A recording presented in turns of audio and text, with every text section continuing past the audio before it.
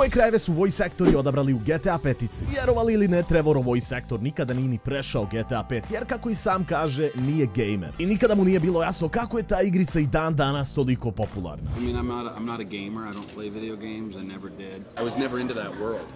I still, I still haven't really played the game. I've tried it. Dok su Michaelov i Franklinov voice actor strastveni gameri kad je GTA 5 u pitanju. I oni su odabrali ove krajeve. I pick C. I pick A. Which is That's what is- always. what is what? That's where I kill you. No, that's.